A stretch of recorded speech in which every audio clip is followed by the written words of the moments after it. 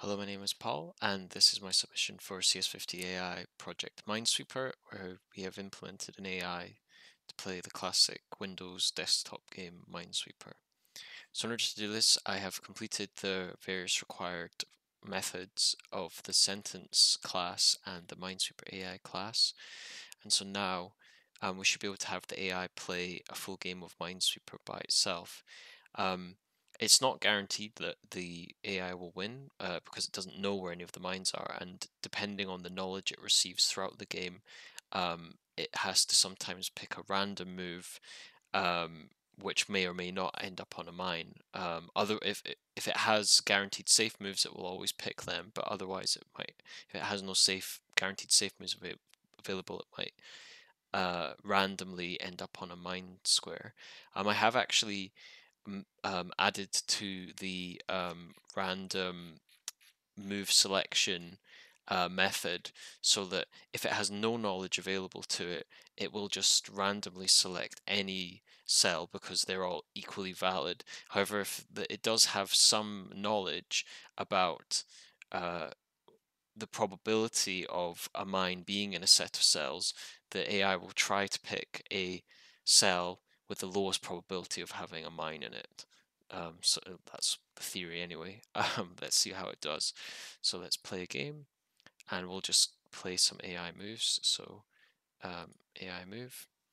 Um, so it's found this square with two. So in theory now, because it's it knows that there's two mines in these five cells um, and then seven mines are left in the remaining cells, it won't actually pick one of these uh, cells for its random move, which it's going to do next, um, because the probability of a mine is lower in all the other cells apart from these ones. So let's see if it does another one. Okay, it's gone there. It still doesn't have any safe safe moves yet, um, so it's going to pick another random move.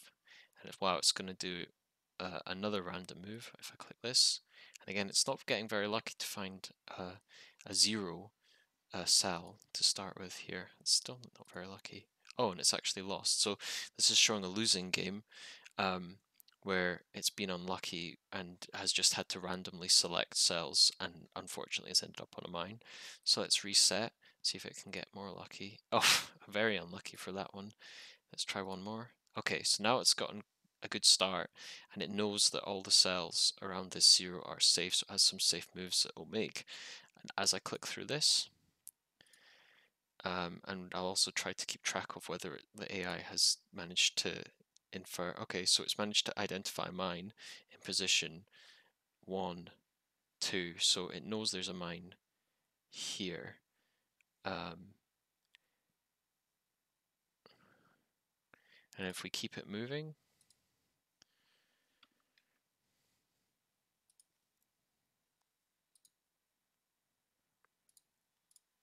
It managed to find another mine in 03. So it knows that there must be a mine here as well. This one has two and it already knows there's a mine here and now there must be a mine here as well.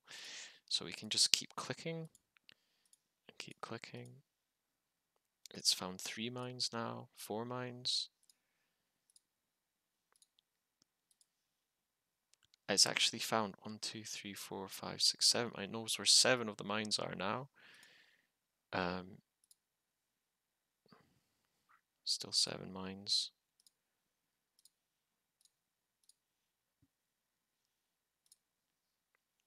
And if I just click through this quite fast now, it will just, it has a lot of safe moves it can make.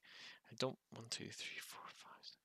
Oh, so it actually knows where all eight mines are now but it'll keep the AI, either I can mark the mines myself or I can just keep clicking this and it'll keep picking all the spaces it now knows are safe until there's only the eight left and it has won the game.